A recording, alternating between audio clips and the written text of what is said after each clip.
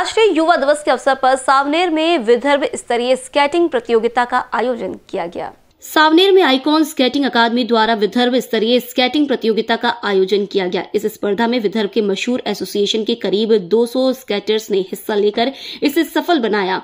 सावनेर काटोल, नागपुर, रामटेक वरूर वर्धा, चंद्रपुर, उमरेड आदि शहरों के स्केटरों ने भाग लिया।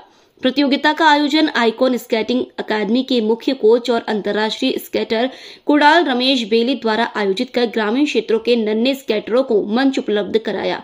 इस अवसर पर doctor Rev Mark Sakharpekar rural skating association के अध्यक्ष सामने ट्रेडर्स एसोसिएशन के उपाध्यक्ष मनोज बसवाल, शहर कांग्रेस अध्यक्ष पवन जायसवाल, पूर्व नगर सेवक और वरिष्ठ समाज सेवी डोमसाव सावजी, सामने तालुका मराठी पत्रकार संघ के कार्याध्यक्ष दीपक कटारे सचिव बंडू दिवटे तालुका क्रीडा संकुल प्रबंधक प्रोफेसर योगेश पाटिल आदि प्रमुख रूप से उपस्थित थे। कार्यक्रम का संचालन मीनाक्षी बेले ने किया। वहीं रोलर स्केटिंग कोच एसोसिएशन के अध्यक्ष गजेंद्र बंसोड़ सचिव मनीष बेसेवारे रूपल टेल तन्मय पिंपल इस प्रतियोगिता के परीक्षक की भूमिका निभाई। जोशुआ सखार पेकर चिराग मीणे आदि प्रतियोगिता सफल बनाने हेतु परिश्रम लिए। विजयी खिलाड़ियों को मान्यवरों के हाथों पुरस्कार प्रदान किए गए। इन बीसीएन न्यूज़ के लिए संवाददाता किशोर ढूंढेले की रिपोर्ट।